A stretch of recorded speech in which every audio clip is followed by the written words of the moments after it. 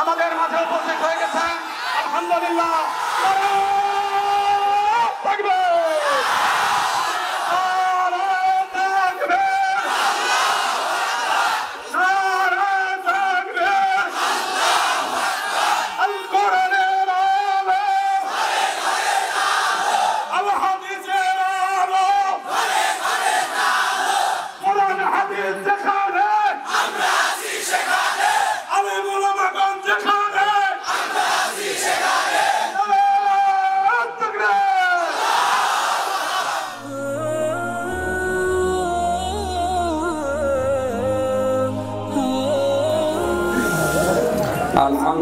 لله رب المشرقين ورب المغربين الذي خلق كل شيء زوجين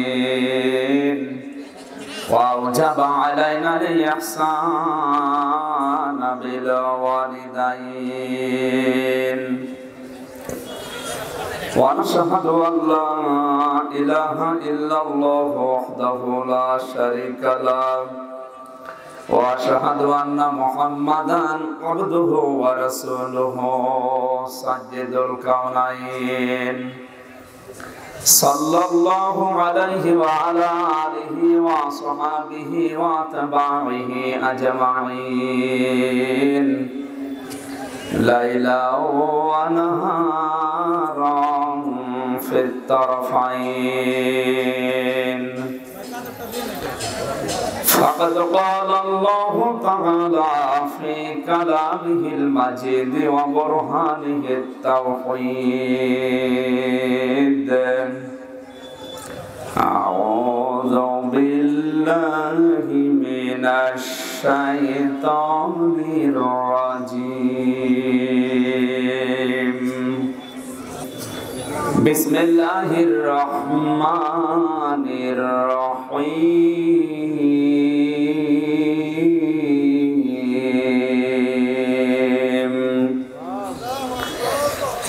الذين يتبعون الرسول النبي الأمي الذي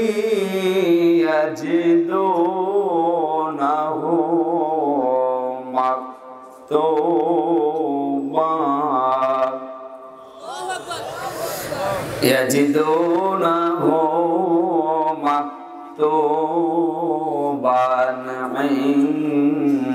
عندهم في التوراة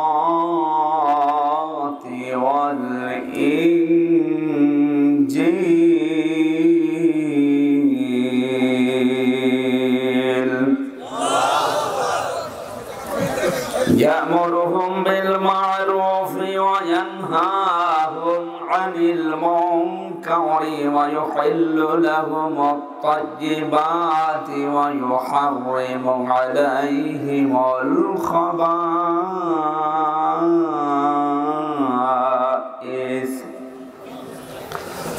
ويحرم عليهم الخبائث ويضع عنهم إصرهم والأغلال التي كانت عليهم.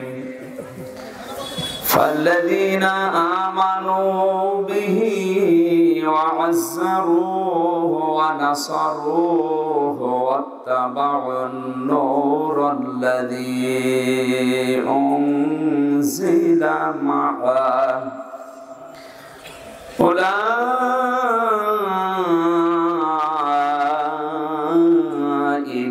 هم المفلحون.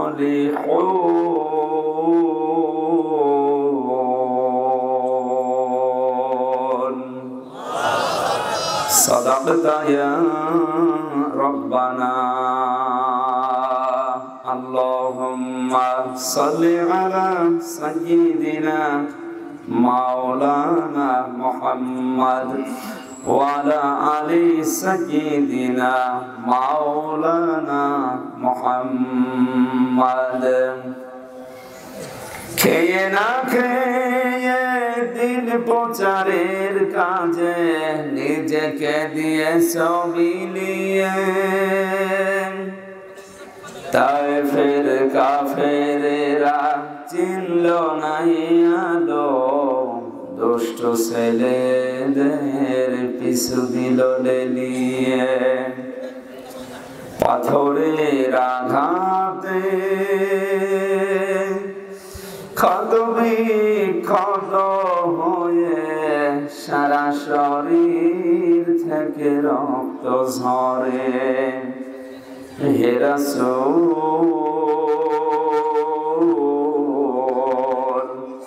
তোমাকে হলে আমি কেমন করে? হেরাস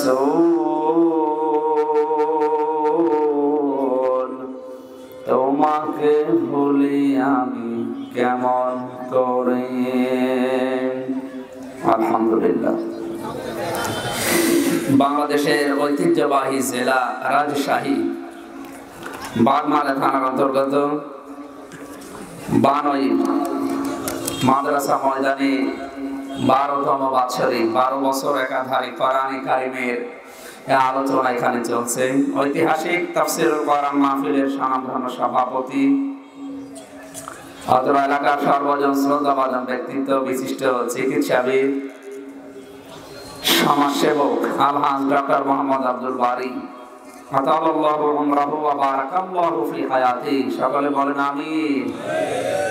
মাহফিলের প্রধান অতিথি শাইখুল মাশায়েখ বিশিষ্ট সমাজসেবক শ্রদ্ধাভাজন বড় ভাই মোহাম্মদ আল সাংগঠনিক সম্পাদক উপজেলা আওয়ামী লীগ আলিয়া। বিশেষ অতিথি হিসাবে অনেকগুলো মানুষের নাম আমরা দেখতে পাচ্ছি। বিশেষ করে মাহফিল বাস্তবায়নের জন্য যারা শ্রম দিয়েছেন, শ্রদ্ধাভাজন ভাই জনাব আবু সাইদ হাফিজুর রহমান, আব্দুর রশিদ সহ নাম নাজান অন্যান্য সম্মানিত ব্যক্তিবর্গ। এ মাহফিল বাস্তবায়নে যাদের শ্রম আল্লাহ রাব্বুল আলামিন কবুল করলে তাদেরকে যেন চিরদিনের জন্যই কবুল করে নেন। এতক্ষণ যারা আলোচনা রাখলেন মাওলানা হাফিজুর রহমান মাওলানা মাইনুল ইসলাম বেলালি সহ নাম নাজানা সম্মানিত ব্যক্তিবর্গ মঞ্চে বসা ওয়ালা মাইকেরা সামনে বসা মুসলমান ভাইরা পর্দা আড়ালের সম্মানিত মা এবং বোনেরা প্রশাসনের ভাইরা বিশেষ করে বাগমারার অভিভাবক, মাননীয় জাতীয় সংসদ সদস্য, আমাদের সকলের শ্রদ্ধাভাজন ব্যক্তিত্ব জনাব ইঞ্জিনিয়ার মোহাম্মদ এনামুল হক। আল্লাহ রাব্বুল আলামিন হযরত ওমরের মতো তাকে যেন কবুল করেন। নবীজি দোয়া করেছিলেন দুইটা মানুষের জন্য আবু জাহেল এবং হযরত ওমর। কপাল ভালো ছিল যার, তার দোয়া কবুল হয়ে তিনি চিরন্তন হয়ে গেছেন। তার নাম শুনলে আজ মানুষ দোয়া করে, হযরত ওমর ফারুক রাদিয়াল্লাহু তাআলা আনহু। যে লোকটার জন্য দোয়া কবুল হয়নি, নাম ছিল আবুল হাকাম, হয়ে গেছে আবু সেহেল। কেয়ামত পর্যন্ত যারা আসবে দুনিয়াতে, ও হয়তো নেই, কিন্তু ওর নাম শুনলে মানুষ দোয়া করবে। বলেন, কাবা শরীফ তাওয়াফ করার পরে আমি সালের শেষের দিকে গিয়েছিলাম। পুলিশের সাথে দেখা সৌদি পুলিশ জিজ্ঞাসা করলাম ভাই, এতক্ষণ তো ভালো ছিলাম। এখন আমার পেটে ব্যথা করছে কেন? পুলিশ আমার বলছে, ইয়া হাজি হজ্জা তাই না বিলাদ ও হাজি, দেশ কোথা যে তুমি বাংলাদেশ। আমার বলছে, এখানে কোন জায়গায় পৌঁছিয়েছেন আপনি জানেন না? দেখছেন না কোন ঘর? কোন ঘর? জাহাবু সাহেলের বাড়ি। আপনি এখনও পায়খানা না করে দাঁড়িয়ে আছেন। তাড়াতাড়ি করে তাড়াতাড়ি করে দেখে হ্যাঁ আমার পেটের ব্যথা ভালো হয়ে গেছে। আল্লাহ আমাকে বোঝাতে চায়, আমির হামসা সাড়ে তিন লাখ টাকা খরচ করে আসলে, আর এই শয়তানের মুখে পায়খানা না করে চলে যাবা। তাড়াতাড়ি করো। কি ছিল, আল্লাহ কোথায় নামিয়েছে? এই জন্য বিশ্বনবীর দোয়া কবল হয়েছিল, যার জন্য তাকে আল্লাহ অমর বানিয়েছে। আর যার জন্য দোয়া কবুল হয়নি, তাকে আল্লাহ নিকৃষ্ট, ঘৃণিত, নিন্দিত, পরাজিত করে দুনিয়ার ময়দানে এখনও পর্যন্ত দেখাচ্ছে, কিয়ামত পর্যন্ত দেখাবে। আপনি যদি এই দুইজনের কথা শোনার পরে কোনো শিক্ষা নিতে না পারেন তাহলে আপনি ব্যর্থ। দোয়া করছি ইঞ্জিনিয়ার মোহাম্মদ এনামুল হক, আমাদের মাননীয় জাতীয় সংসদ সদস্য, আমাদের সর্বোচ্চ অভিভাবক এই উপজেলার জন্য। আল্লাহ রাব্বুল আলামিন তাকে হায়াতে তাজ্জেবা সিহাতে কলিয়া দান করুন আমি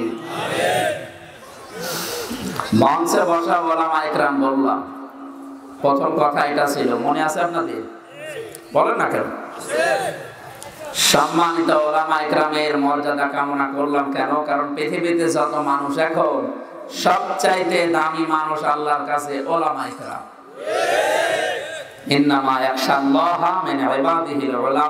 অবশ্যই আমার আল্লাহর বান্দা থেকে যারা আলেম, তারা আল্লাহকে বেশি ভয় করে।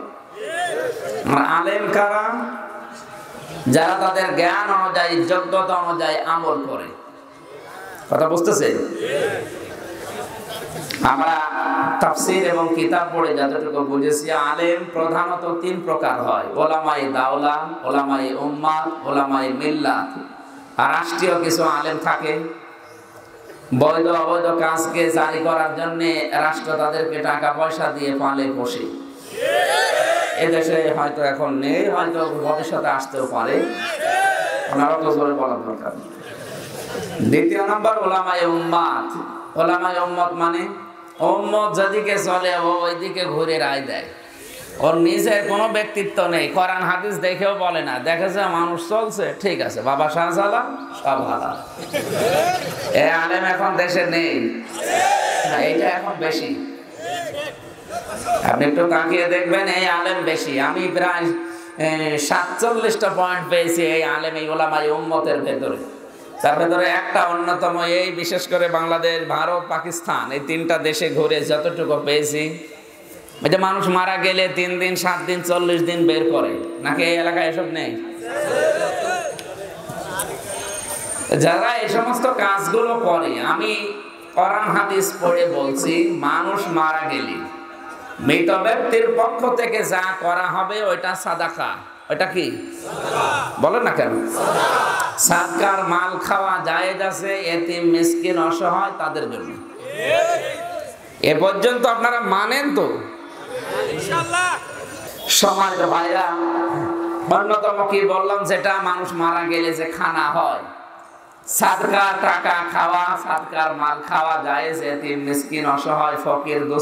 এদের জন্য। এ পর্যন্ত আপনারা মানেন কিনা বলেন? সাদকার মাল খাওয়া জায়েজ কাদের জন্য? এতিম, মিসকিনের জন্য। এই যে মাওলানা আলী আহমদ আকন্দ তাহাজির সেন্টারের পরিচালক। উনি যদি ওনার বাবা মারা যায়, বাবা মারা গেছে? ঠিক আছে। উনি আমারে বলছে, আমির হামজা, আপনাকে আমি দাওয়াত দিলাম, আমার বাবা মারা গেছে, এই যে দুই হাজার টাকা নেন, সাতকার টাকা। কিসে? আপনি খাবার কিনে খান। ওনার টাকা নেওয়া আমার জন্য তো জায়েজ।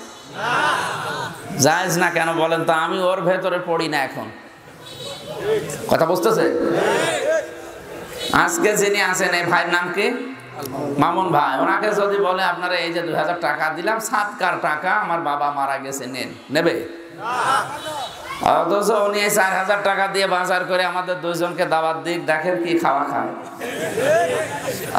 আগেরটা কি? আর পরেরটা? জিনিস তো একই। দোকানের নামের উপরে লিখে দিয়েছে বিসমিল্লা মদের দোকান। যায় জিনিস তো একই। আপনি ওই জিনিসই খালি টাকা দিয়ে খাবার কিনে খাওয়াচ্ছেন। আগে টাকা দিয়েছিলেন, এখন খাবার দিচ্ছেন। জিনিস এক নাম পাঁচ হাজার মানুষকে উনি দাওয়াত দিলে যে খানা হবে।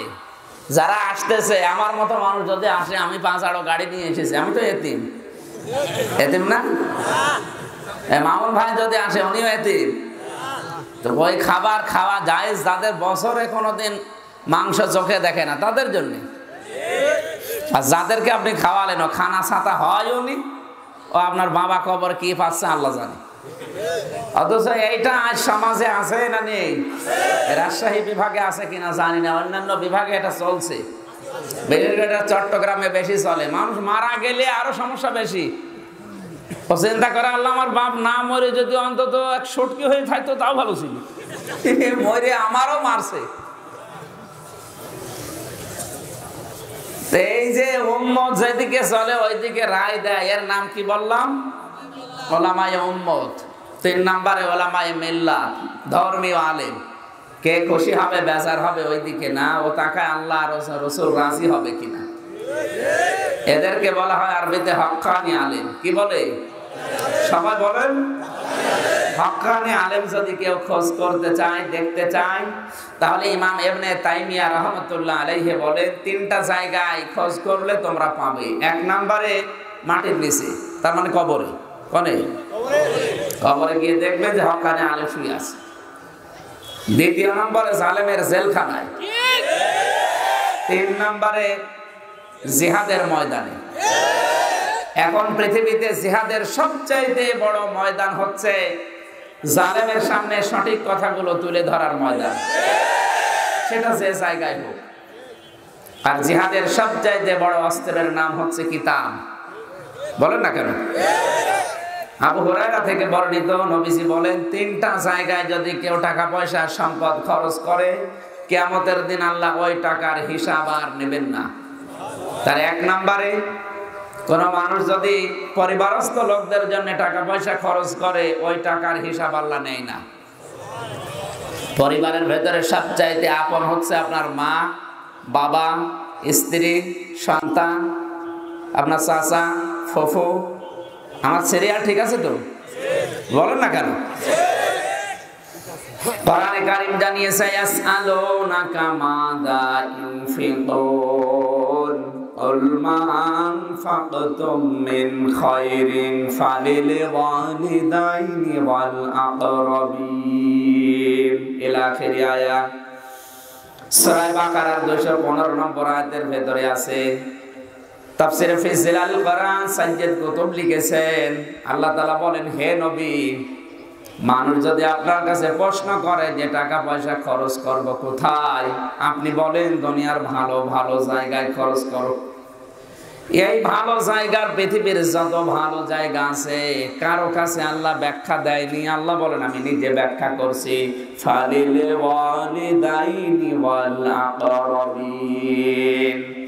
দুনিয়ায় যত ভালো কাজ আছে সব চাইতে বড় ভালো কাজ হচ্ছে মার বাবার জন্য খরচ করা। এরপরে নিকট আত্মীয় স্বজনের নাম এসেছে। এরপরে ইয়াতিমের নাম, মিসকিনের নাম, অসহায়ের নাম, মুসাফিরের নাম সিরিয়াল আকারে আল্লাহ দিয়েছেন। রাজশাহী বাসী, বিবেক খাটান, বুদ্ধি খাটান। একটু চিন্তা করেন তো, সিরিয়াল করছেন কে? আরও জোরে বলেন। তিনি প্রশ্ন দিচ্ছেন নিজে, হে নবী, মানুষ যদি আপনাকে জিজ্ঞাসা করে যে জীবনের টাকা, পয়সা, খরচ করব কোথায়? আমি এতদিন ইনকাম করতাম না, উপায় করি নাই, কিন্তু এখন উপায় করা শিখেছি। এখন ইনকাম করা শিখেছি, জীবনের এই প্রথম টাকা আমি কোথায় দেব? আমার মনে হয় এই ব্যাখ্যা যদি দুনিয়ার মানুষের হাতে আল্লাহ ছেড়ে দিত, যে যেই দলে আছে ওই দিকে টেনে ব্যাখ্যা করত। মামুন ভাইয়ের কাছে যদি দিতেন বলতো, টাকা খরচ করো জায়গা পাচ্ছ না, আওয়ামী লীগে দাও। কথা বলছে না জামাত ইসলামের যিনি আছেন, ওনার কাছে বললে বলতো, টাকা খরচ করো, জায়গা পাচ্ছ না, ইয়ানত বাড়িয়ে দাও। আপনি পীর পার্টি যারা আছে, ওদের কাছে বলেন, ওরা বলবে কি? ওসব জায়গায় দিয়ে দুনিয়ার লাইনে কাজ হবে, দরবারে গরু বৃদ্ধি করো। যে যেই দলে আছে মিনাল্লাযীনা ফাররাকু দীনাহুম ওয়া শিয়া। কুল্লু হিজবিন বিমা লাদাইহিম ফারিহুন আল্লাহ পাক বলেন হ্যাঁ নবে দুনিয়ায় যে যে মতে আছে পথে আছে দলে আছে আপনি দেখবেন ওই দলের কর্মসূচি নিয়ে সে আনন্দে আছে। কথা বুঝতেছে? এই জন্য আল্লাহ ব্যাখ্যাটা কারও হাতে দেয়নি। নিজে ব্যাখ্যা করছেন। আল্লাহর নিজের ব্যাখ্যা। আপনি মানবেন তো? বলেন, বলুন। এক নম্বরে ফালিল ওয়ালি দায়নি দুনিয়ায় যদি ব্যয় করতে চাও, জীবনের প্রথম ইনকামের টাকা মায়ের জন্য ব্যয় করো। আমার অনেকে মনে করে প্রথম লাউ, প্রথম কত প্রথম বেগুন দিয়ে আসা লাগবে, এতিমখানায় মসজিদে। কে বলেছে আপনাকে? আপনি ওইটা বিক্রি করে যে কয় টাকা হয় মায়ের পেছনে খরচ করেন? কারণ সিরিয়াল হিসাবে কার নাম? বলেন না কেন? দ্বিতীয় নম্বরে বাবার নাম। আর আপনি একবারে মা, বাবা, স্ত্রী, সন্তান, চাচা, ফুফু, এগুলো বাদ দিয়ে চলে যাচ্ছেন সে বরিশাল। বরিশাল বলে সমস্যা? সিলেট। কোথায়? আপনি একবারে ছয় জনের নাম বাদ দিয়ে সিলেটে গেলেন, ওর নাম এখানে আছে? কোন কারণে গেলেন? এখানে পরিবারের সর্বপ্রথম যিনি আপনার আপন, তিনি আপনার মা, আপনার বাবা, স্ত্রী, এদের জন্য যদি দুনিয়ায় কেউ কিছু খরচ করে, এই টাকার হিসাব আল্লাহর কাছে কিয়ামতি দেওয়া লাগবে না। তাই বলে স্ত্রীর জন্য ডিশ অ্যান্টিনা লাগিয়ে দেবেন, হিসাব দেওয়া লাগবে না। দ্বিতীয় নম্বরে কেউ যদি জিহাদের ময়দানের সরঞ্জামাদি কিনতে টাকা পয়সা খরচ করে পৃথিবীতে এখন জিহাদের সবচাইতে বড় অস্ত্রের নাম হচ্ছে বই। কি? কেন?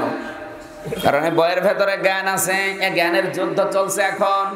এই জ্ঞান অর্জন করার জন্য আপনি যদি ইন্টারনেট প্রতি মাসে মাসে কিনতে থাকেন এমবি কেনেন জিবি কেনেন অথবা ফেসবুক চালাতে কম্পিউটারের মাধ্যমে আপনি দাওয়াতি কাজ করবেন এর জন্য ওয়াইফাই লাইন নিয়েছেন। প্রতি মাসে ছয়শো আটশো এক হাজার টাকা বিল আপনি যদি সত্যি এই বিষয়গুলো ইসলাম প্রচারের জন্য, প্রসারের জন্য ব্যয় করেন, এই ওয়াইফাই লাইনের যে বিল দিচ্ছেন এমবি জিবি কেনার জন্য যা খরচ হচ্ছে, যে বইগুলো কিনবেন, অস্ত্রের হিসাবে, মনে করেন ওগুলো অস্ত্র কেমতের দিন এই ওয়াইফাই লাইনের টাকার হিসাব আল্লাহ নেবে না। আপনারা কি অবিশ্বাস হচ্ছে? সবান আল্লাহর আওয়াজ শুনে মনে হচ্ছে যে কেমন কেমন লাগছে। তিন নাম্বার জেহাদের ময়দানে যদি আপনি যেতে ভয় পান, আপনার যদি ওই পরিবেশ না থাকে পজিশন না থাকে, তিন নাম্বার জিহাদের ময়দানে যারা কাজ করছে, আপনি পেছন দরজা দিয়ে হলেও তাদেরকে সাহায্য করবেন। এই সাহায্য সহযোগিতা করতে যে টাকাগুলো খরচ হবে, ওই টাকা ওই সম্পদের হিসাব আল্লাহ নেবে না।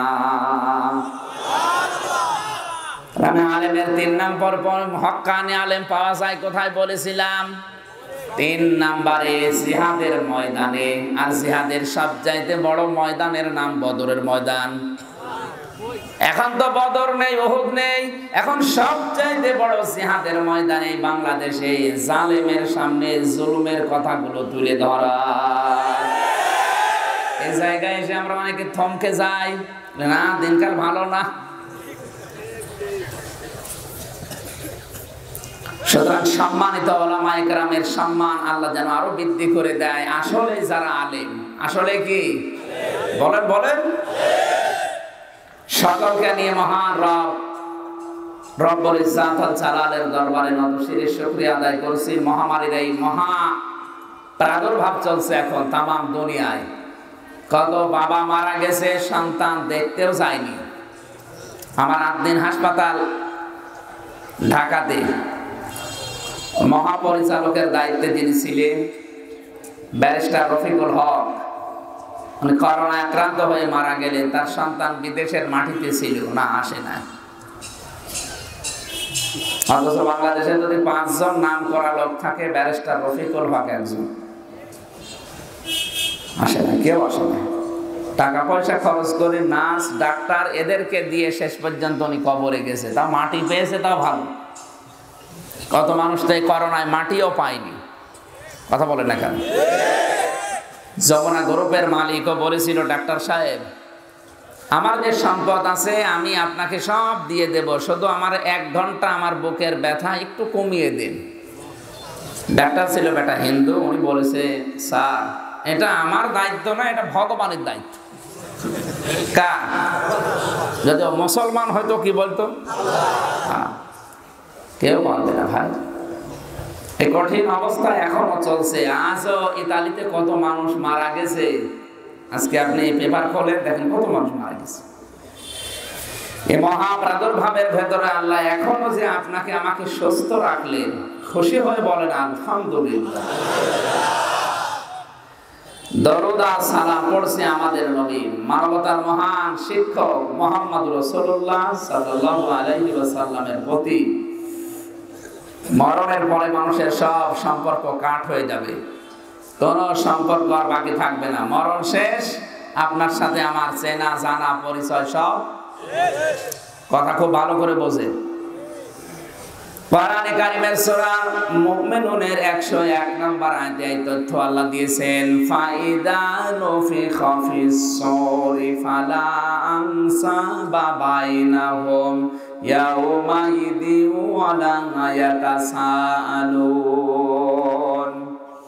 যেদিন সিংহায় ফৎকার দেওয়া হবে ওই কঠিন মুহূর্তে, ফালা আংসা বা বাইনাহুম।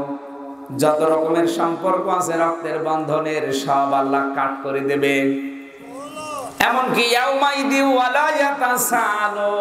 আপনি কারও সম্পর্কে প্রশ্ন করবেন, এরকম সময়ও পাবেন না, মনও আপনার তৈরি হবে না। আজ এই বাগমারাতে আসলে হয়তো আল মামুন পরামানিক ওনার সাথে পরিচয় আছে, যেহেতু আসলে হয়তো জিজ্ঞাসা করব বিশ বছর পরে যদি আসি যে মামুন ভাই কোথায় আছে, কেমন আছে, দুনিয়ার অবস্থা যত খারাপ হোক কেমতের কঠিন অবস্থা আল্লাহ এমন ভাবে বানাবে ওনার নামও আমার মনে আসবে না। একটু বিবেক দিয়ে শোনেন তো। এত ভালোবাসা মহাব্বত, এমনকি রক্তের সম্পর্ক যদি ওনার সাথে আমার থাকে, তারপরও ওনার নামও আমার আর মনে আসবে না। ফাগাই ফাতাত্তাকুনা ইন কাফারতুম ইয়াউমা ইয়াজআলুল ওয়ালদানা শিবা। আল্লাহ পাক বলেন, এমন একটা কঠিন অবস্থা কিয়ামতে বানাবো, যুবক মানুষ কিয়ামতের দৃশ্য দেখে বুড়ো হয়ে যাবে। একটা যুবক মানুষ বৃদ্ধ হয়ে যায় সেকেন্ডের ভেতরে কি অবস্থা আল্লাহ বানাবে? অন্তত আমাদের সামনে এই অবস্থার এই দিন নেই। যদি বিশ্বাস সত্যি করে থাকেন আপনাকে আমি বলছি এত বড় মারাত্মক অবস্থা আল্লাহ বানাবে। দলীয় পরিচয় বলেন, রক্তের পরিচয় বলেন আত্মীয়তার যা আছে সব আল্লাহ কাট করে দিয়েছে।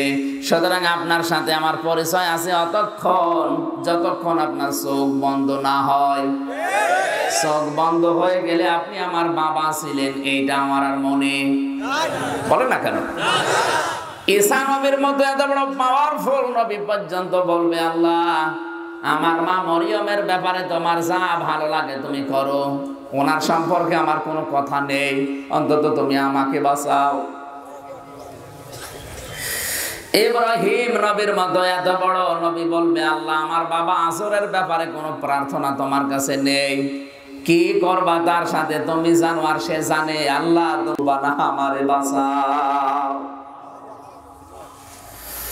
তাফসিরে ফেসিল আলিল কোরআনে সাজ্জাদ কুতুব বলেন কিয়ামতে সব চাইতে আপন ভেবে মানুষ মায়ের কাছে যাবে।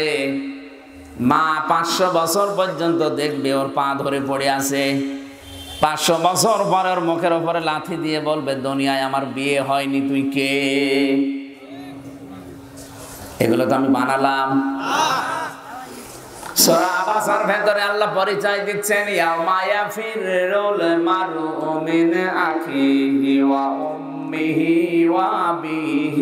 সাহিবাতিহি ওয়া বানি একটু খেয়াল করেন। এখানে প্রথমে ভাইয়ের নাম, মায়ের নাম, বাবার নাম, স্ত্রীর নাম, সন্তানের নাম, বন্ধুর নাম, এরপরে অন্য মানুষের নাম। সিরিয়াল হিসাবে সাতজনের নাম আমরা পেলাম। আমরা যতটুকু বাস্তবতা দেখি, দুনিয়ায় বিপদে পড়লে এরা এগিয়ে আসে না, দূরে যায়। বলেন না কেন? কিন্তু আল্লাহ কিয়ামতটা পুরো পাল্টিয়ে ফেলবেন। এই যে মানুষগুলোর নাম বললাম, ভাই, মা, বাবা, স্ত্রী, সন্তান, বন্ধু, অন্যান্য লোক, এরা আগে পালাবে। তাও কেমন করে পালাবে? আল্লাহ ধরন দিয়েছে শব্দের শাব্দিক অর্থ হচ্ছে মাজা, তুলে, দৌড় দেওয়া। আপনি বলেন তো আপনার বিবেক দিয়ে, এরা যদি আগে পালায় যেখানে নবী পর্যন্ত তার মায়ের পরিচয় দেয় না। ইব্রাহিম নবী তার বাবার পরিচয় দিতে নারাজ না, দরকার নেই, ও দিলে ধরা খাব। আমার তো যতটুকু বিশ্বাস কে আমাদের ওই কঠিন ময়দানে অনেক পীর বলবে, আল্লাহ আমি পীর ছিলাম না। বলবে? না মানে? একশো ভাগ ভরসা করে আছে। যেখানে মা বলছে, আমার বিয়ে হয়নি। পীর সাহেব বলবে যে, আমার মুড়িদ এটা ও বলবে, আমার পীরই ছিলাম না। মুড়িদ পাবো কোথায়? কারণ জানে যে, যদি পরিচয় দেয়, আমি ধরা খাব।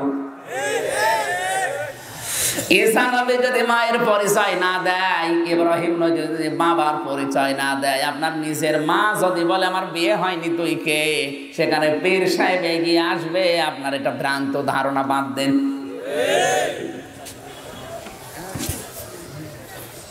হঠাৎ করে ডান দিক থেকে একটা আওয়াজ বেশি আসবে। প্রত্যেকে যখন বলছে, আমাকে বাঁচাও আমাকে বাঁচাও, এই আওয়াজ দেখবে উনি আর বলে না যে, আল্লাহ, আমাকে বাঁচাও। উনি বলবে, রব্বি হাবেলি উম্মতি। হে আল্লাহ, আমার উম্মতকে বাঁচাও। এ কোন উম্মত যে উম্মত ডাল খায়, বাবা খায়? কি? আপনাকে উম্মত হওয়ার জন্য যে যোগ্যতা আল্লাহ দিয়েছেন, এই দুইটা যোগ্যতা আপনার অর্জন করা লাগবে।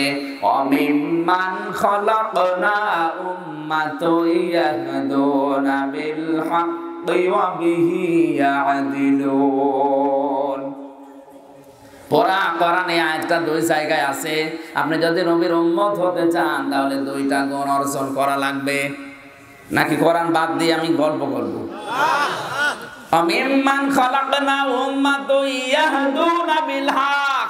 আপনি যদি নবীর উম্মত দাবি করে কিয়ামতে ওই দিন পরিচয় দিতে চান যে হে নসুল আপনি যে বললেন আমার উম্মতকে বাঁচাও আমি কিন্তু ওই তালিকায় আছি। এক নম্বরে ইয়াহদুনা বিল হক সঠিক পথ মানুষকে দেখাতে হবে। এই বাংলাদেশে এখন সঠিক পথ দেখানো মানুষ বেশি না বেঠিক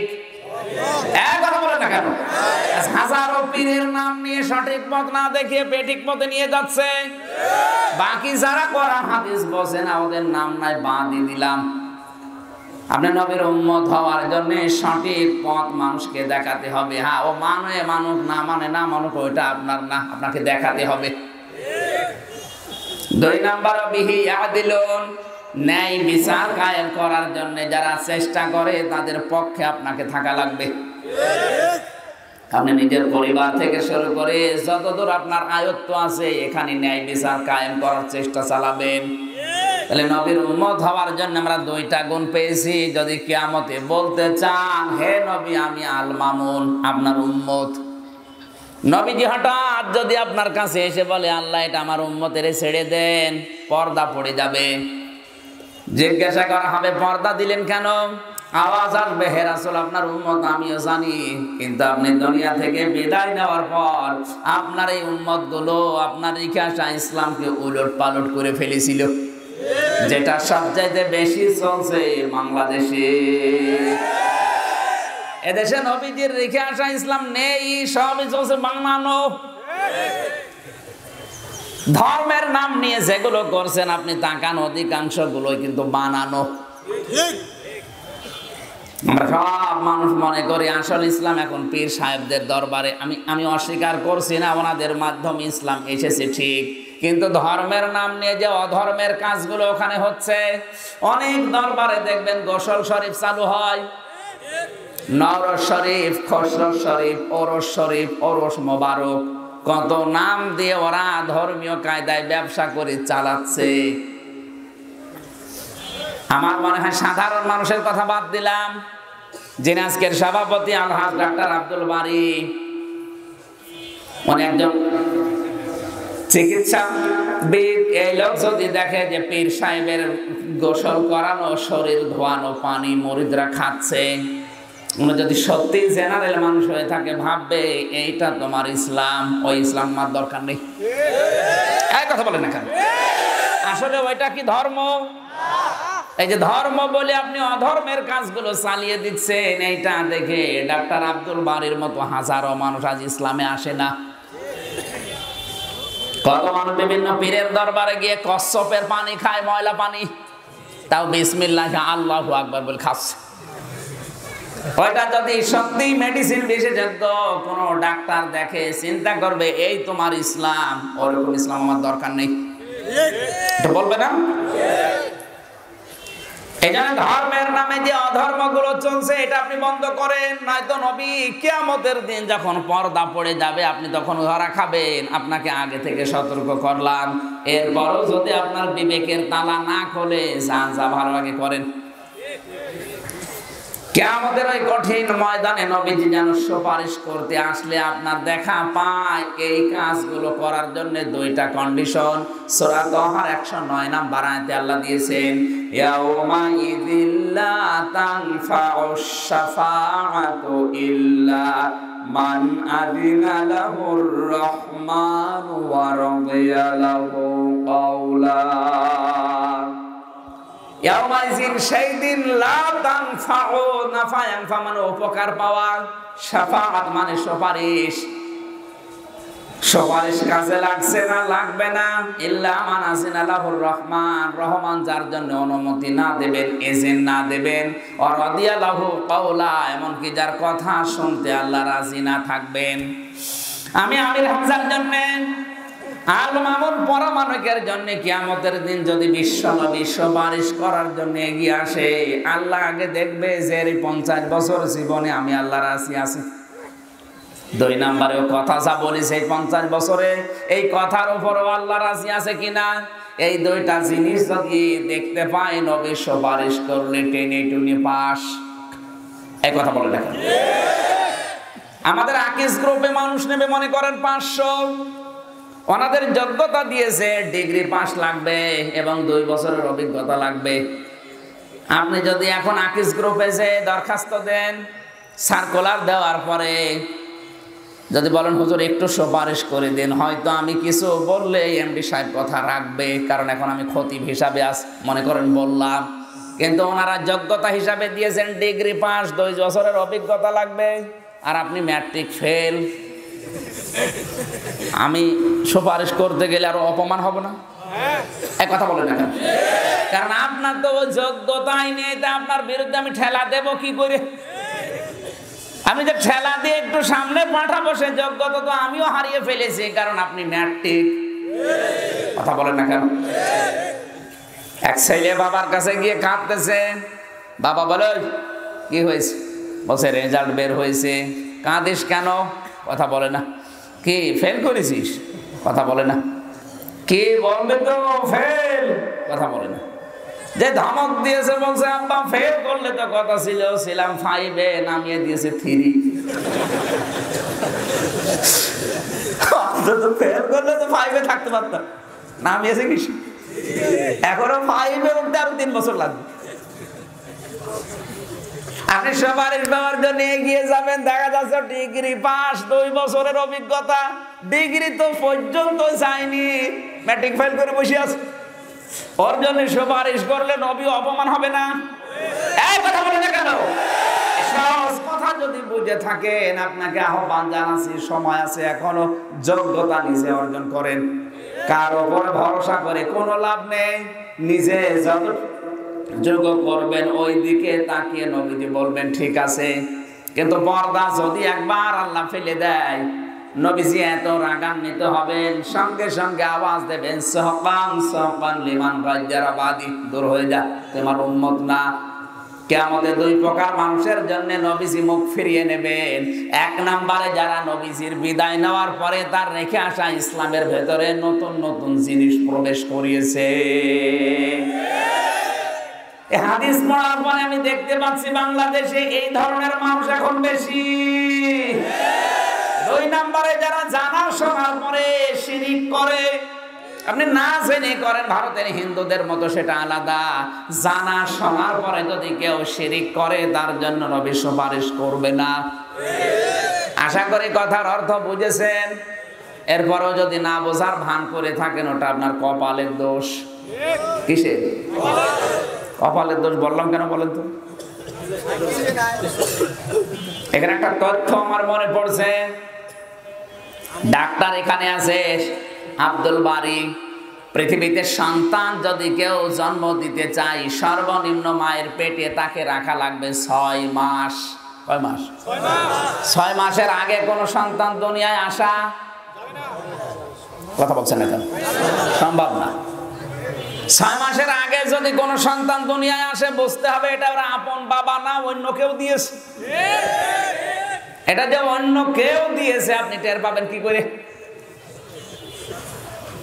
এটা ধরো মা না বললেও আপনাকে টের পাওয়া লাগবে। বিয়ের যদি পাঁচ মাসের ভেতরে কারও সন্তান হয়, ওই বাবা যেন বিশ্বাস করে যে, না, এ বর পেটে যে আছে আমার না, এর আগে কেউ দিয়েছে। এটা সূরা হাকাফ 26 নাম্বার পারা 2 নাম্বার পৃষ্ঠা 12 নাম্বার লাইনে 15 নম্বর আয়াতের মাঝের অংশে আছে, হামালাতুহু উম্মুহু করহা ওয়া ওয়াদাআতুহু করহা ওয়া হামলুহু ওয়া ফিসালুহু 30 শাহরা। দুই মিনিট মাত্র, এই তথ্যটা মনে রাখবেন। আল্লাহ পাক বলেন, তোমার মা তোমাকে কষ্টের পরে কষ্ট সহ্য করে পেটে বহন করেছে এবং দুধ খাওয়িয়েছে সালাসোনা সাহারা তিরিশ মাস। কয় মাস? তাহলে এখানে পেটে রাখা আর দুধ খাওয়ানো সব মিলে কথা বলে না মানুষকে দুধ খাওয়ানো লাগে কতদিন?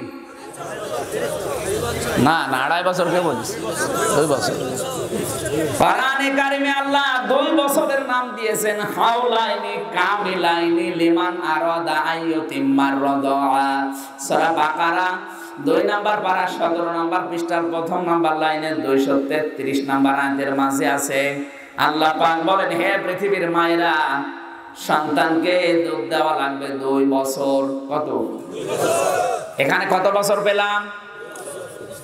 তিরিশ মাস। দুই বছরে কি তিরিশ মাস হয়? কত? বলেন বলেন। হ্যাঁ চব্বিশ মাস।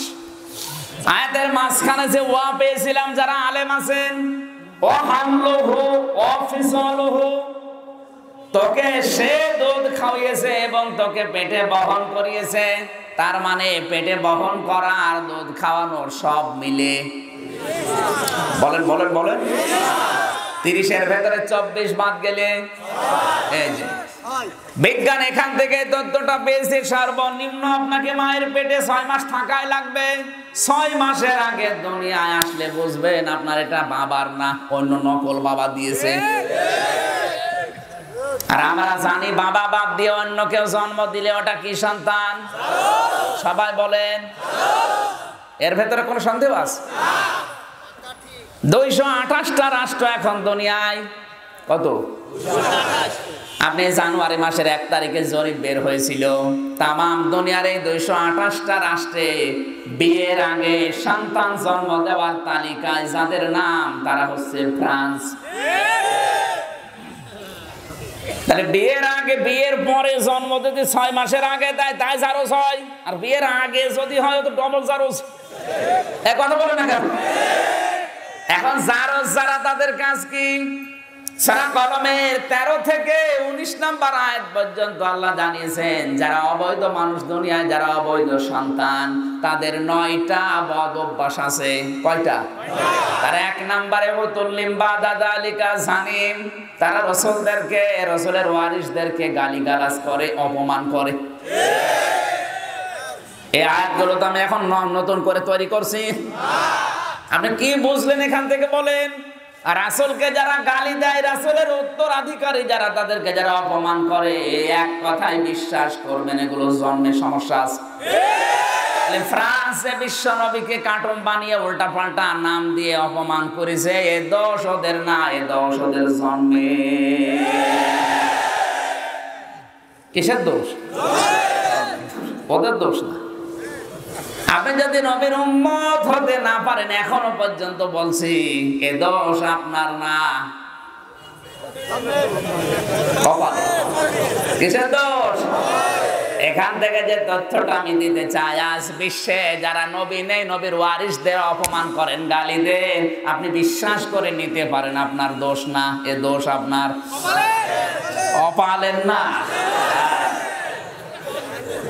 কারণ সন্তানদের নয়টা বদ অভ্যাসের এক নাম্বার তারা নবীদেরকে থেকে গালি দেয় যদিও এদেশে এখন শুরু হয়নি নেই। ওদের না ও দোষ কিসের।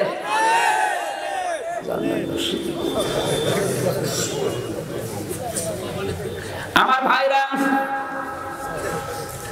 নবীজি যখন একা দাঁড়িয়ে বলবেন, এগুলো আমার উম্মত। বলেন তো, ওই সময় কেউ পরিচয় দিতে রাজি না, এমনকি সানবী, মোসানবীও তার মায়ের পরিচয়, বাবার পরিচয় দিচ্ছে না। সেখানে একজন মাত্র দাঁড়াবে। আপনার এখন যদি বিবেকে কাজ না হয়, তাহলে আমি কি করব বলেন? আপনার এখনই তো অন্তত বিবেকটা খুলে যাওয়া দরকার। আল্লাহ, আমি আর যাই করি, নবীর উম্মত না হয়ে যাব না। জোরে বলেন আমি ওই নবীজিকে নিয়ে আমি একটা আয়াত পড়েছি কারিমের। আরাফ 157 নাম্বার আয়াত। কত?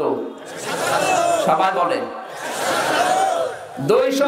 আয়াত আছে সূরা আরাফের ভেতরে। চব্বিশটা রুকু আছে কোরআনে কারিমের ক্রমিক নাম্বার হিসাবে সাত নাম্বার সূরা এটা।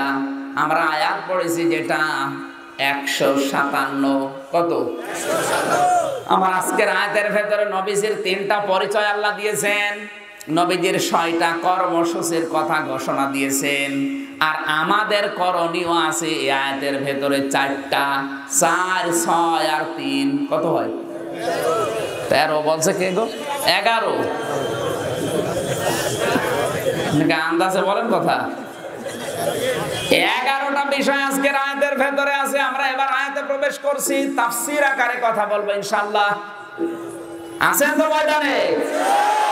জবান খুলে কোরআনের সোনালী আয়াতের প্রথম অংশটা পড়েন। আউযু বিল্লাহি মিনাশ শাইতানির রাজিম। বিসমিল্লাহির রহমানির রহিম। الذين يتبعون الرسول النبي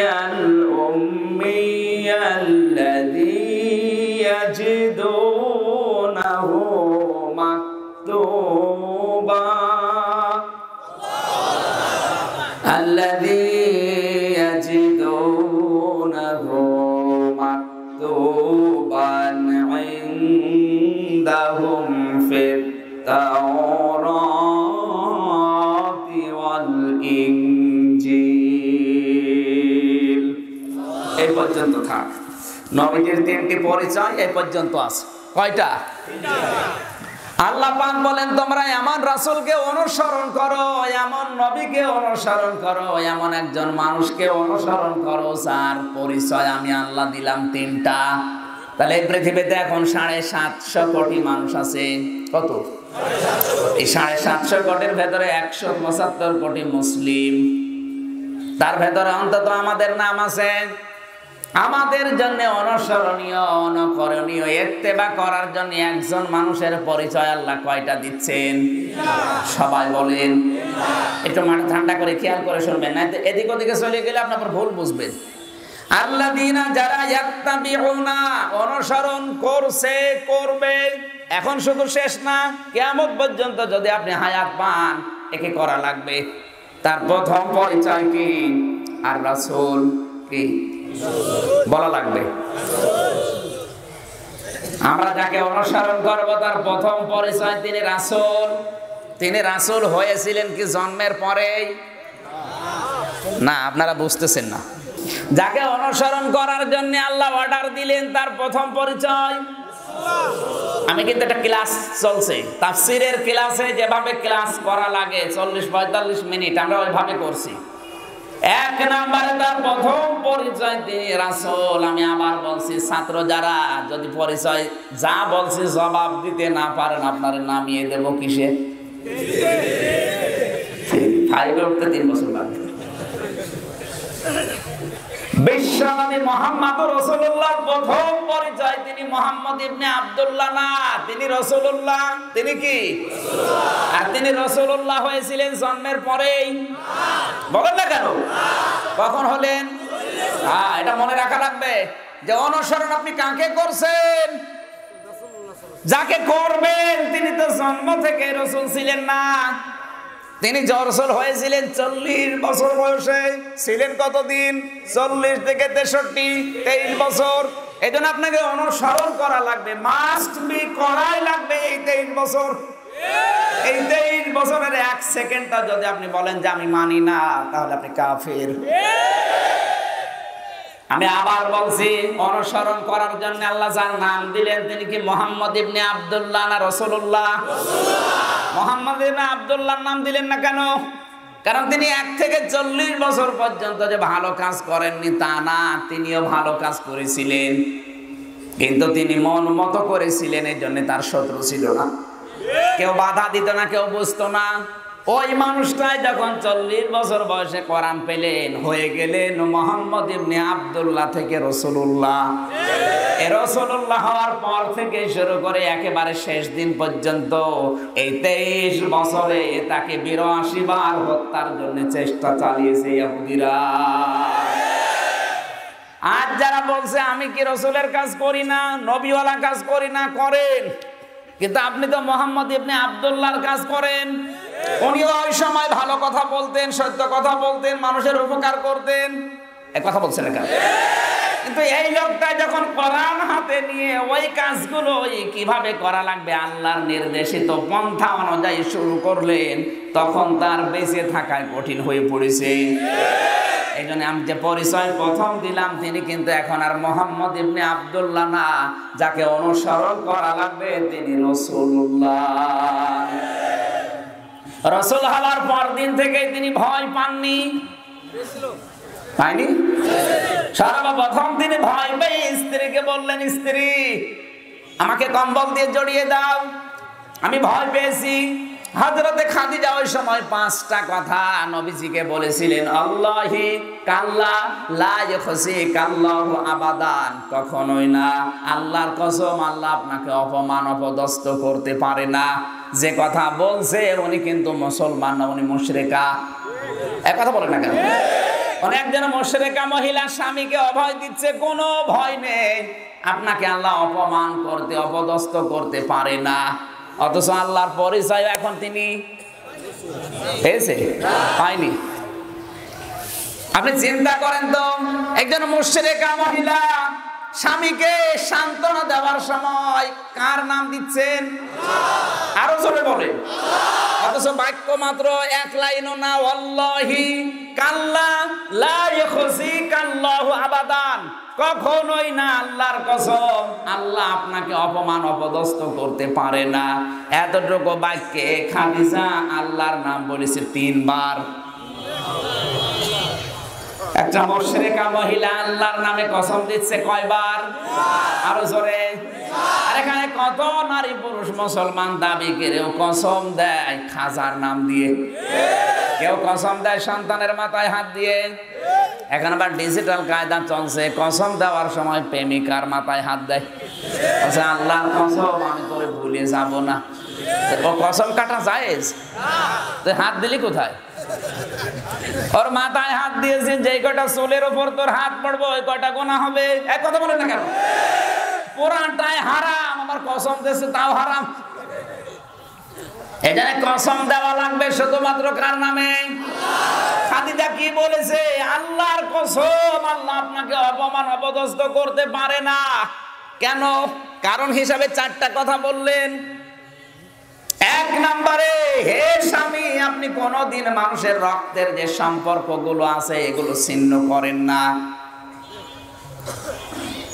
সমাজ মা বোন যারা আছে, তাদেরকে বলছে আপনি যদি চান যে আপনার স্বামী দুনিয়ায় বেশি দিন বেঁচে থাকুক, তার হায়াত বেড়ে যাক, তার সন্তান, তার সম্মান, তার মর্যাদা, তার টাকা পয়সা দুনিয়ায় বেশি বৃদ্ধি হোক, তাহলে আপনি বারবার পরামর্শ দেবেন, উদ্বুদ্ধ করবেন, সে যেন তার সম্পর্কগুলো রক্তেরগুলো ঠিক রাখে।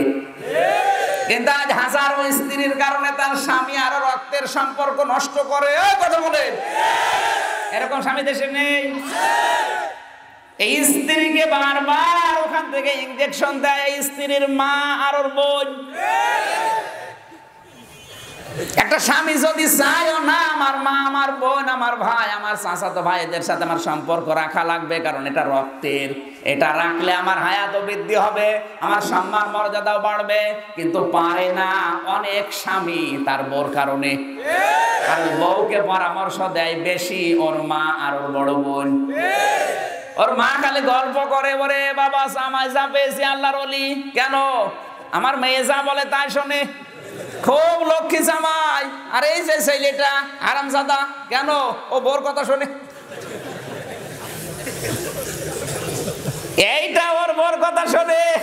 এটা কি? বলুন আর এইটা? এরকম মহিলা দেশে নেই। আছে মানে মহিলা প্যান্ডেলে খোঁজ করে।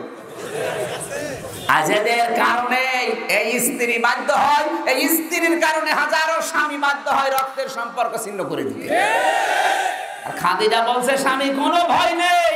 কারণ আমি আপনার সাথে পনেরো বছর সংসার করে দেখলাম আপনি রক্তের সম্পর্কগুলো কখনো ছিন্ন করেন না। তাদের অধিকার আপনি আদায় করেন। সুতরাং যারা রক্তের সম্পর্ক ঠিক রাখে, আল্লাহ তাদেরকে ভয় দেখাতে পারে না। আর আপনারে মানুষ ভয় দেখায়। তাল গাছের ভেতরে কিছু উঠলে আপনি ভয় পান, এমনি নাই তো। কারণ আপনি তো রক্তের সম্পর্ক সব ছিন্ন করে বসে আছেন। আপনি ভয় পাবেন না, পাবে কে? কথার অর্থ বুঝতেছেন? সম্মানিত মা বোন, যদি চান আপনার স্বামী বেশি দিন বেঁচে থাকুক, তাহলে পরামর্শ দেন যে তুমি আর যাই করো, রক্তের সম্পর্কগুলো ঠিক রাখো।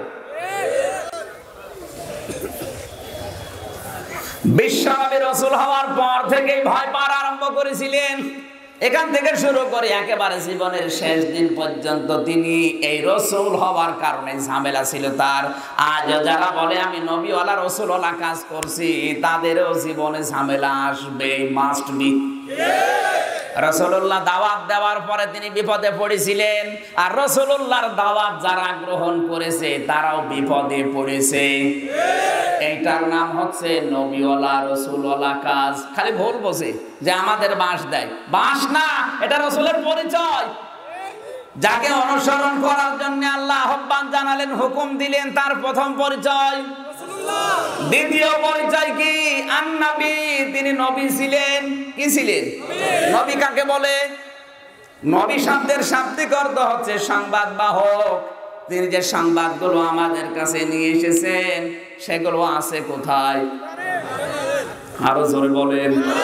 আপনি যদি সত্যি নবীকে অনুসরণ করতে চান, তাহলে তার উপরে যে সংবাদগুলো আল্লাহ পাঠিয়েছেন, এই ছয় হাজার ছয়শো ছেষট্টিটি আয়াত আপনাকে অনুসরণ করে দেখানো লাগবে। এটা এত অথেন্টিক এত সত্য বানিয়ে করানি কারিম, বিশ্বনবীর কোন কথা এর ভেতরে নবীজিকে আল্লাহ প্রবেশ করাতে দেননি। এখানে যা আছে সব আমার আল্লাহর নিজের কথা।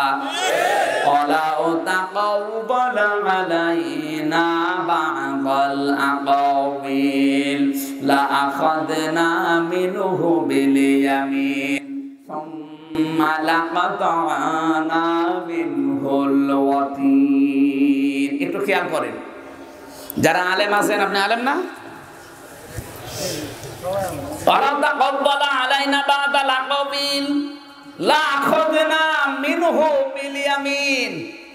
আল্লাহ পাক বলেন, হে নবী, এই কোরআনে যদি আপনার কোনো কথা আমার নামে চালিয়ে দিতেন যে এটাও আল্লাহ জানিয়েছেন, তাহলে আপনার ডান হাত আমি চেপে ধরতাম কণ্ঠনালী কেটে ফেলে দিতাম। ঠিক আছে? হ্যাঁ ভুল এটা। ঠিক নেই। ঠিক নেই। গলা কাটাও না। একটু ভালো করে শোনেন তো দেখেন তো এবার যা বলছে ঠিক হয় কিনা। লাখস না। শব্দের দিকে খেয়াল করে পড়বেন। কোরআন শরীফ তো আপনি ওদের মতো পড়তে পারেন না। আপনি পড়লে চিন্তা ভাবনা করে পড়বেন। লাখস না। অবশ্যই আমরা ধরতাম। এ কথা বলছে কি? আমির হামজা বলছে? লাখস না মানে আমরা ধরতাম। এখানে আমরা বলতে কে? বলেন বলেন। মিন হো, মিন মানে হতে, হো মানে তাকে। আমরা তাকে ধরতাম কি দিয়ে? বিল ইয়ামিন বিমানে দ্বারা দিয়ে করতে কেয়ামিন মানে ডান হাত। এখানে সরাসরি ধরতো কে? কোন হাত দিয়ে? তাহলে আমরা অর্থ করলাম কি? হে নবী, আপনার ডান হাত আল্লাহ চেপে ধরতো, কণ্ঠনালী কেটে ফেলে দিত। নবীজির ডান হাত আল্লাহ ধরতো না, আল্লাহ নিজে তার ডান হাত দিয়ে ধরতো। আল্লাহ নিজে তার ডান হাত দিয়ে ধরতো। এখন আমার প্রশ্ন, আল্লাহর ডান হাতে শক্তি বেশি না বাম হাতে? তাহলে মেন হবে সেমাল দিলেন না কেন? আমরা সচরাচর চর্ম চোখে যেটা দেখি, আমাদের কিন্তু ডান হাতের শক্তি, বাম হাতের চাইতে একটু বেশি। কঠিন কাজগুলো কোন হাত দিয়ে করে? কথা বলেন কথা বলেন। মানুষ যেটা বোঝে, ওইটার উদাহরণ আল্লাহ কোরআনে দিয়েছেন। পোড়া কোরআন আপনি যেখানে কসম শব্দটা দেখবেন দেখবেন ওই জিনিসের সাথে সম্পর্ক করা আছে। মানুষের হায়াতের সম্পর্ক সময়ের সাথে। এই জন্য মানুষের হায়াত সম্পর্কে যত কথা সেখানে সময়ের নাম দেওয়া আছে।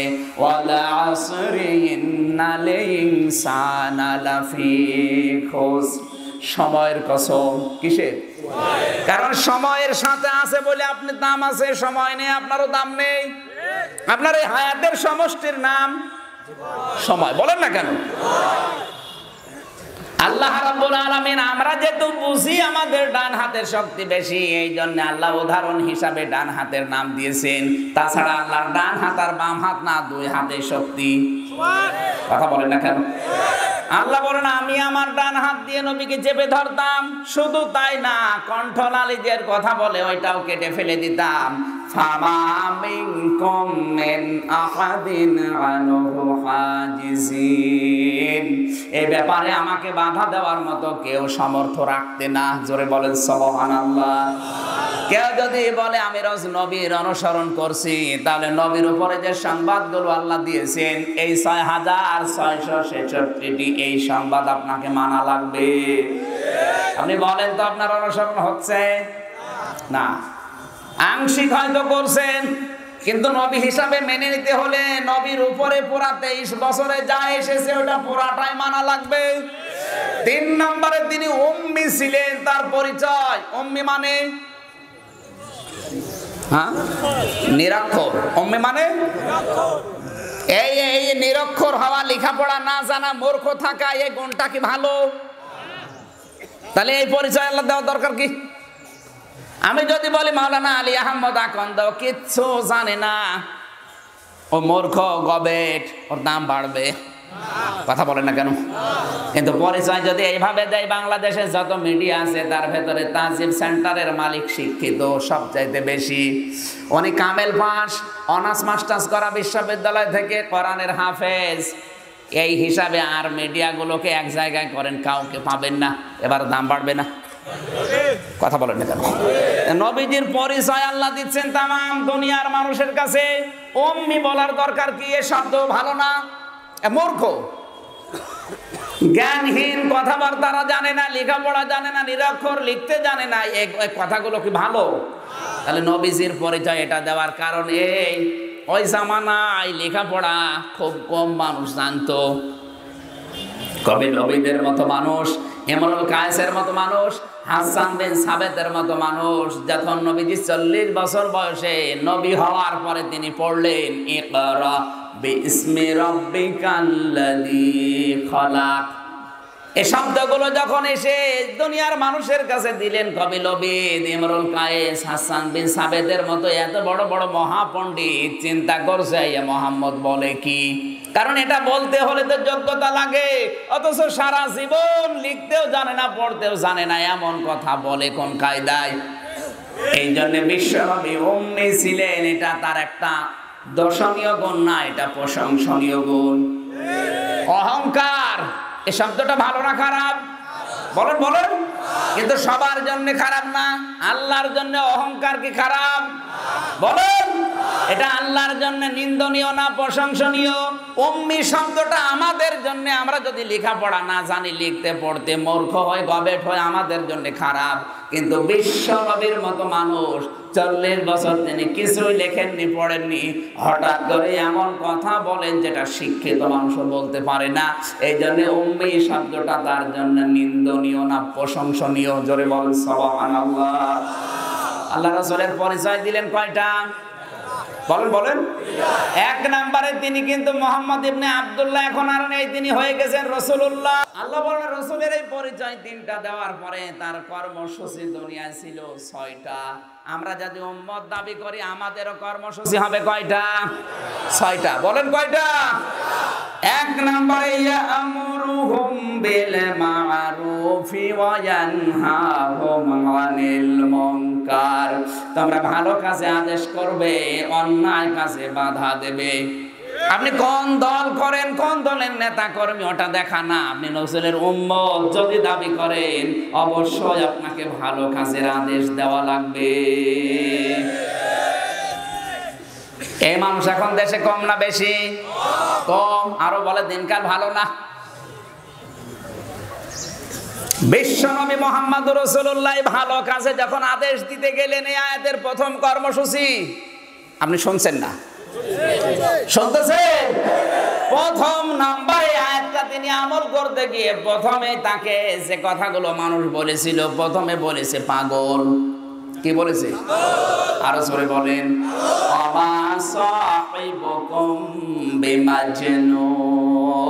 হে নবী, আপনি পাগল না? ওরা আপনাকে পাগল বলে, ওদেরকে আমি জবাব দিলাম, তোমাদের সাথী আমার দোস্ত মোহাম্মদ রসুল্লাহ পাগল। পাগল। মাংতা বেনিয়ামাতি রব্বিকা বিমাজিনুন। হে নবী, আপনার প্রতি আপনার রবের দয়া এই যে আপনি পাগল না। তাহলে ওরা আপনাকে পাগল বলে কারণ কি? তাফসিরে মাঝহারি আল্লামা সানাউল্লাহ পানিপতি রহমতুল্লাহ আলাইহে বলেন এ পৃথিবীতে ইয়ামুরুহুম বিল মারুফ। রাসূলের ছয়টা কর্মসূচির, প্রথম কর্মসূচি ছিল ভালো কাজে আদেশ দেওয়া। এই কাজটা করতে গেলেই সর্বপ্রথম যে গালিটা এসেছে, ওই গালির নাম কি? আরও জোরে বলেন। এ পাগল বলার কারণ কয়টা বললাম? তিনটা। বলেন। আরও জোরে। এক নাম্বারে রসুলকে ওরা পাগল বলতো, এমনি। কেন? না, আপনার শুনছেন না। কোন কারণে? কোন কারণ নেই। আমি যদি এখন এই মুরব্বীকে বলি যে রাজাকার কেন বললেন? এমনি। কোনো কারণ আছে? কোনো কারণ কারণ রাজাকার আর বয়স হয়তো হয়নি। কিন্তু আমি বললাম কেন? কথা না কেন? এমনি এমনি কেন? না। এই যে আমার হাতে মাইক আছে।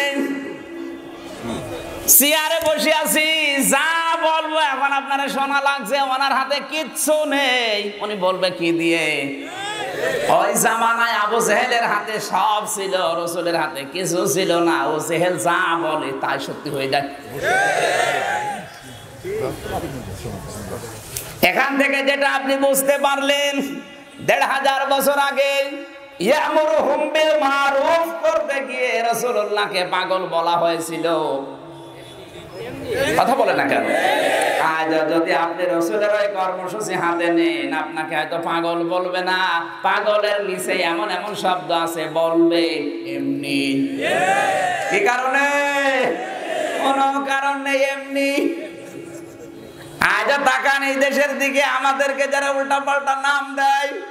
আমার নাম দিয়েছে রাজাকারে শয়তানও বিশ্বাস করবে?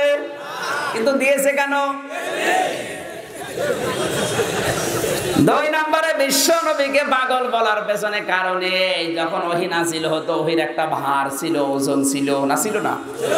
এই ভার ওজনের কারণে নবী ঘেমে যেতেন, ঘরমাক্ত হয়ে যেতেন, চোখ বন্ধ হয়ে যেত, বসে পড়তেন, অস্থির হয়ে যেতেন এই দৃশ্যগুলো আবু জেহেল, উতমা সাহেবা বুঝতো না, ও মনে করতো লোকটা পাগলামি করছে। অথচ রসুলের উপরে যে ওহির ভার ভার টের পাওয়ার মতো মন আবু জেহেলের।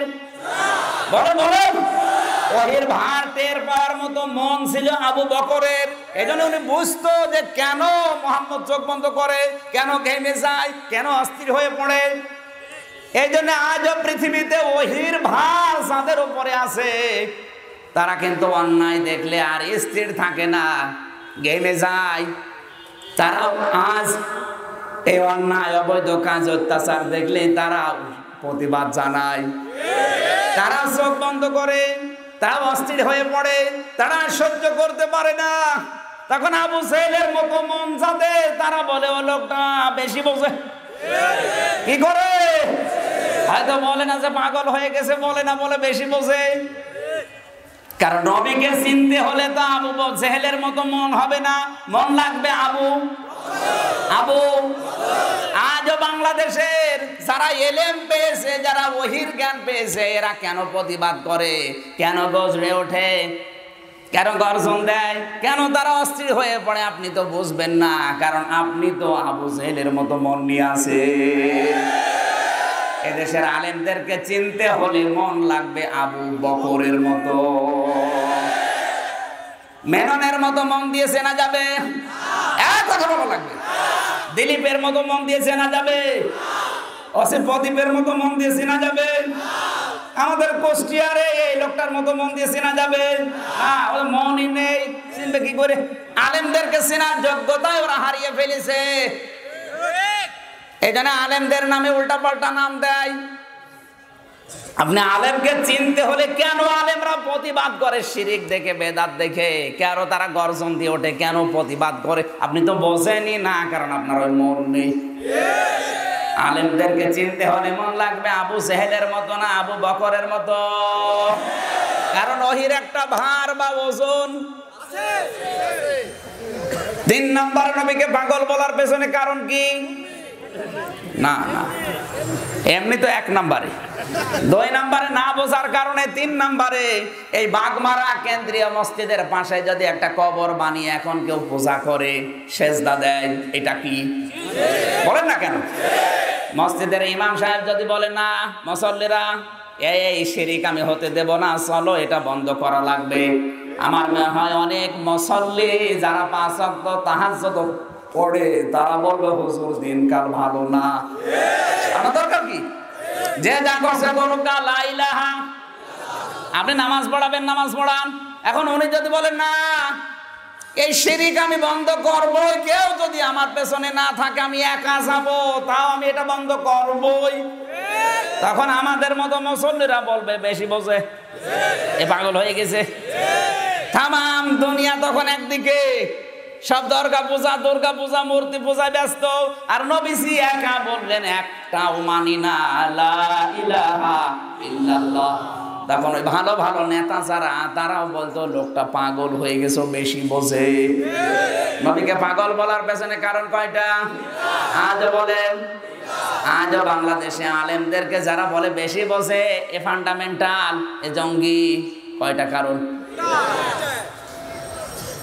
আপনি আমর হোমবেল মারুফ, রসুলের প্রথম কর্মসূচি করতে গেলে পাগল শুনবেন, জাদুকার শুনবেন আরও নাম নাই বললাম।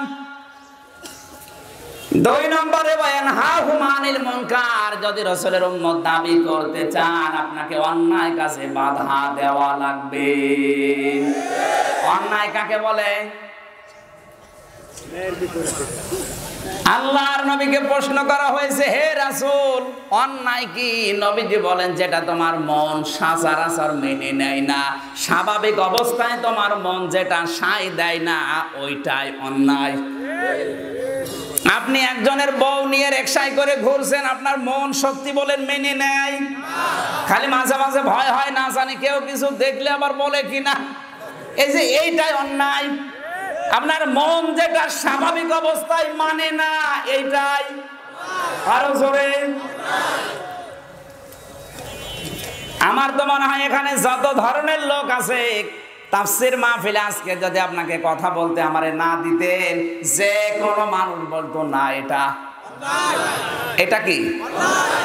এই অন্যায় কাজে আপনি যদি বাধা না দেন, নবীজির কর্মসূচিতে আপনার কর্মের মিল নেই।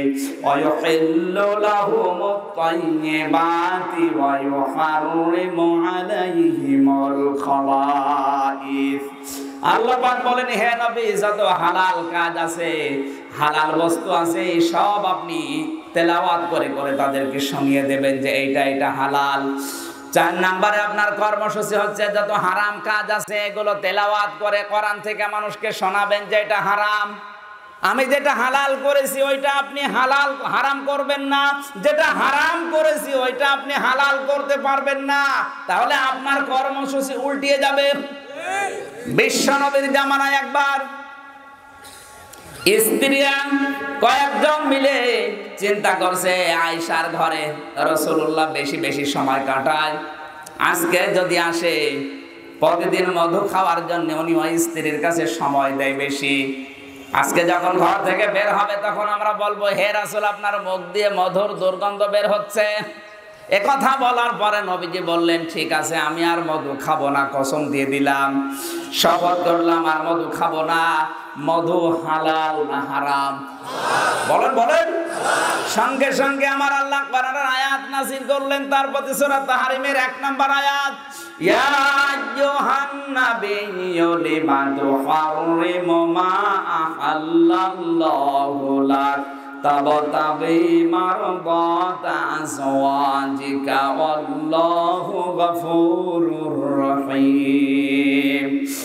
হে নবী, এটা কিন্তু স্বাভাবিক ভাবে আমির হামজা না হে নবী, ধমক দিচ্ছে। হে নবী, কিসে আপনাকে জায়েজ জিনিস হারাম বানিয়ে দিল? কে আপনাকে এই জায়েজ জিনিস, পবিত্র জিনিস হারাম বানিয়েছে কিসে? আপনি কি স্ত্রীদের সন্তুষ্ট চান?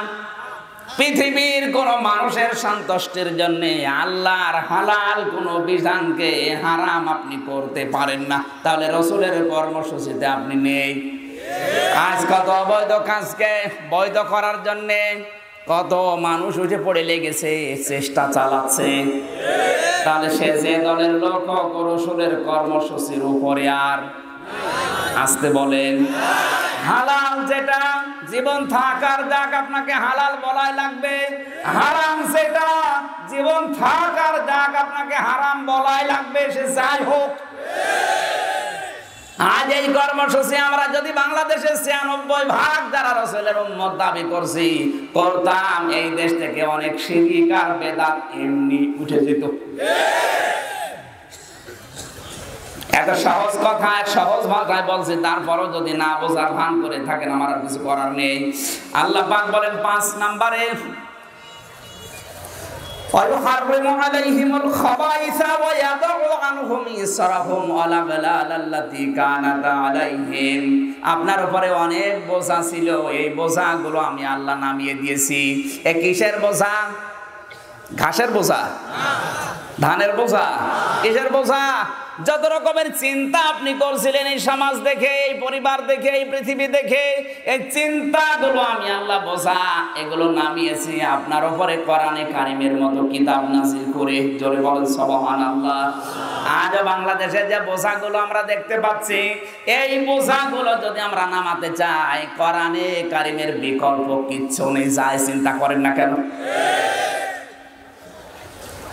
আল্লাহ রাব্বুল আলামিন এই ছয়টা কর্মসূচি রসুলকে দিয়েছিলেন। আমি শুধু টাচ দিলাম, যদি মাথায় মগজ থাকে আপনি বুঝে নেন।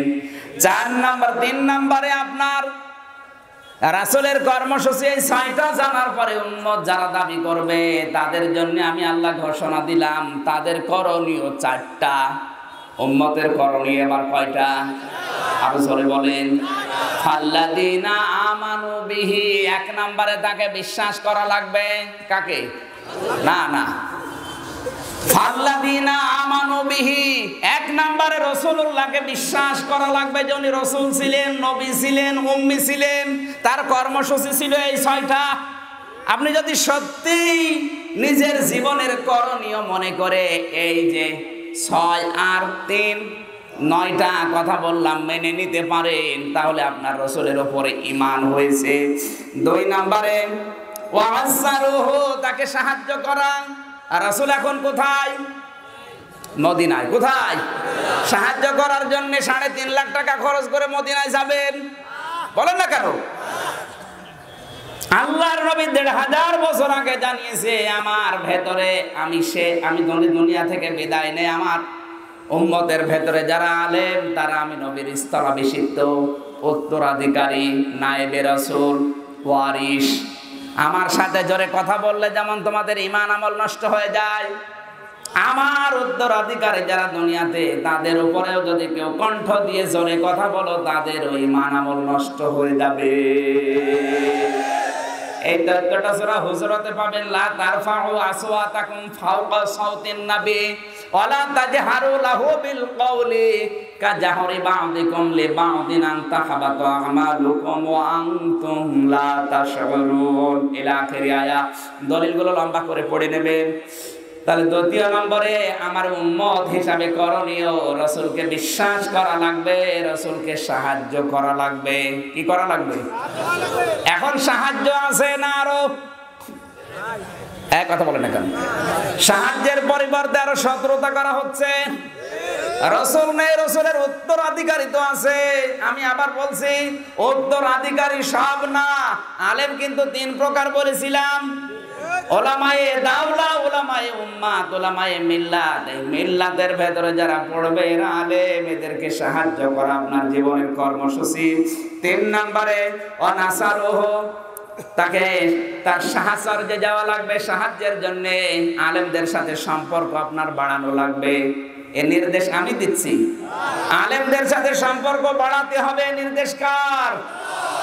কেয়ামতে আল্লাহ মানুষকে মাফ করার জন্য যখন কিচ্ছু পাবে না, এটা হাদিস।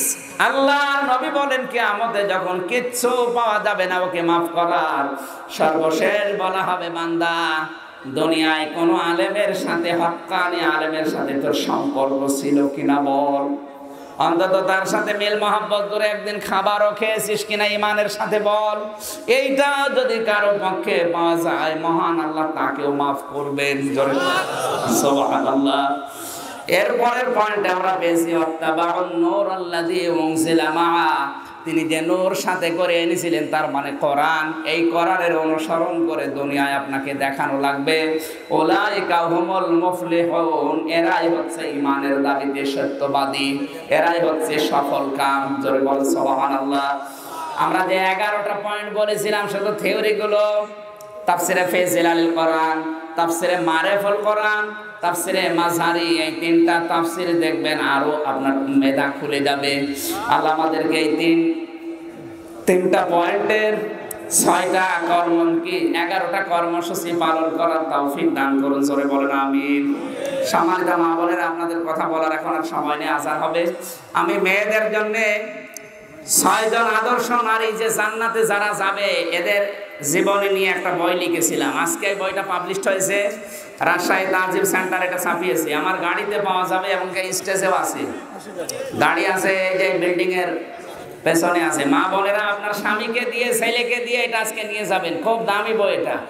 ছয়জন মহিলা আপনার জন্য আদর্শ হওয়ার কথা। এদেরকে নিয়ে যান, এই বইটা কাছে কাছে লাগবে ইনশাল্লাহ যারা আছেন, মা মা বোনেরা, আপনার ছেলেকে দিয়ে, স্বামীকে দিয়ে নিয়ে যাবেন।